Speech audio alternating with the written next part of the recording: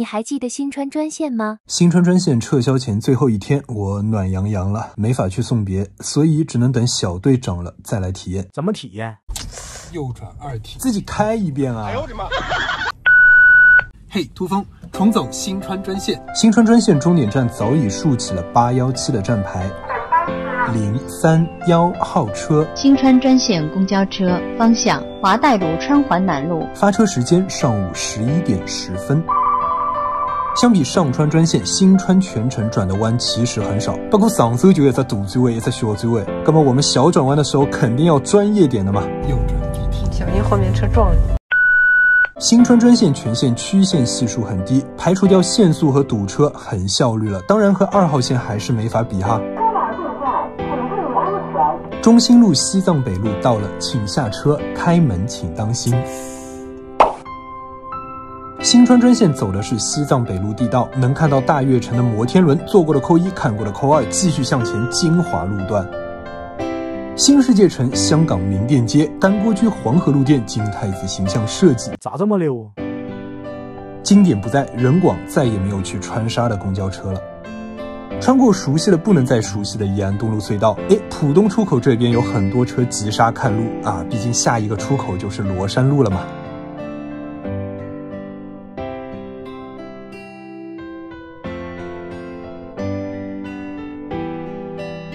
东方医院以前英文报站有三个版本：东方 Hospital、East Hospital、Oriental Hospital。那么东方医院你五错啊？东方医院有人下车吗？没开过了，没有就开过了。要好九八三路星级服务吗？摘掉永修路帽子的浦东大道一路畅通，却再也等不来他的专属明星柴油巨龙车八十五路十八间到了，请下车。开门请当心。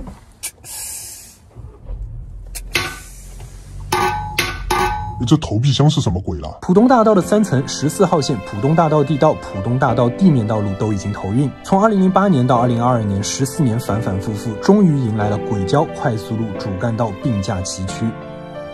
上川路不对，金桥路右转，金桥路、张江路一直到孙桥，然后华夏路到川沙，干脆利落。四公司的深川专线还在，接下来下一站张江农工商。到了，请下车。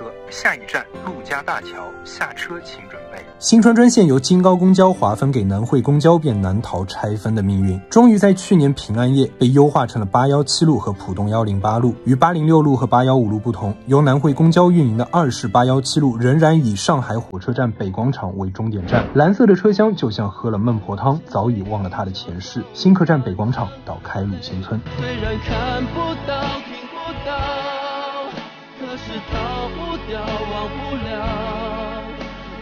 枕边的你的发梢都变成了。好，现在是华夏东路川沙路，右转一停啊，一定要把这个握好。